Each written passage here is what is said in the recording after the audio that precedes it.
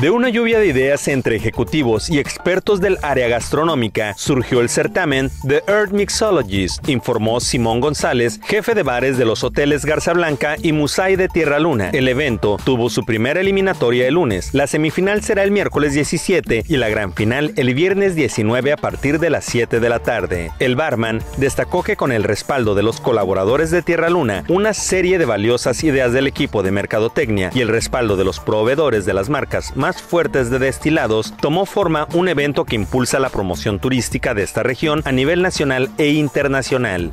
Parte de, nuestro trabajo como gerentes es proponer ideas o esa lluvia de ideas para atraer a más gente o para que conozcan esta hermosa propiedad que es Tierra Luna, ¿no? Entonces, entre una que otra junta salió el tema de, bueno, ¿qué vamos a hacer, no? Entonces, por ahí este, nuestro gerente general, el señor Jonathan, pues nos dijo, ¿sabes qué? Pues organízate un concurso.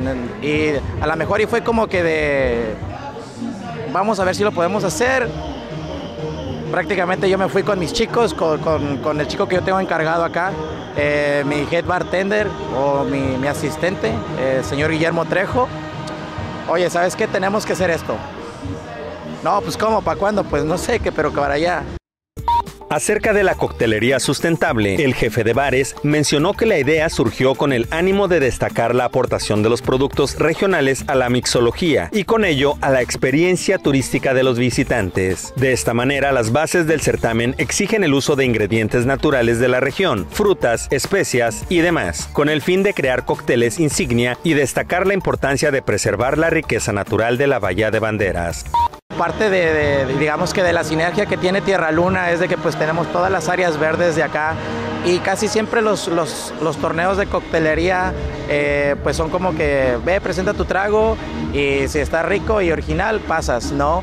Pero pues hoy en día todo el tema sustentable, el cambio climático y todo lo que estamos viviendo día a día pues obviamente nos genera tanto empresa eh, como eh, uno como persona el tratar de contribuir un poco no para que pues el deterioro de el deterioro de, pues, de, nuestro planeta pues por lo menos lo vayamos frenando poco a poco no entonces la temática es muy buena. Consideramos que era una idea bien y los chicos cuando empezaron a mandar sus recetas pues fue un boom porque muchos traen como que esa sinergia muy padre Luego de la eliminatoria del lunes, Simón González también adelantó que habrá cambios en la dinámica y en el jurado para la semifinal del miércoles, así como en la gran final del próximo viernes, con el fin de hacer el evento muy dinámico y atractivo para los espectadores por la mezcla de creatividad y competitividad de los concursantes.